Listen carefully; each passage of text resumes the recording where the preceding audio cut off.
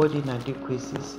Yes, no one is perfect, we know, but God says we should emulate Him. He says He is our standard. It's written for us in the Word that Paul explains, says, Look unto me as I look unto Christ. He is a strong tower. We will not fail. We may have weaknesses, but our weaknesses should not keep us down. We should be like Jesus, be like God. God is our standard.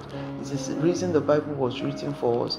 Jesus in human form showed us the way to live when he walked this, the, the streets of Galilee, how he comported himself. We don't allow weaknesses to get us out of our, our path in Christ. Our inadequacies are no excuses. The Bible says we can do all things through Christ who strengthens us.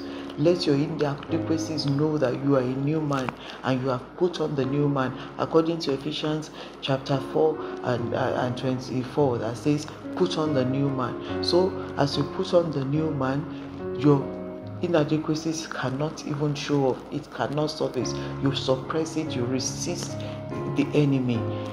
You move on on the path of righteousness. Your inadequacies have no say because you have Christ in you, the hope of glory. Have a beautiful day. God bless.